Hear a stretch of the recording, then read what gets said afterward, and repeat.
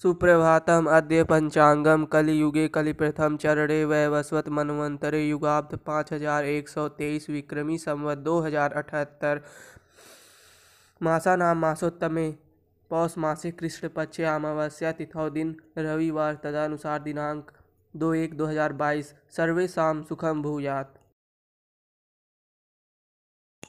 आज दो जनवरी 2022 रविवार को पौष मास की कृष्ण पक्ष की अमावस्या तिथि है। आज का दिन विशेष है। इस इस अमावस्या को पौष अमावस्या भी कहा जाता है। Thanks for watching please channel को सब्सक्राइब कर दीजिए और बेल आइकन को क्लिक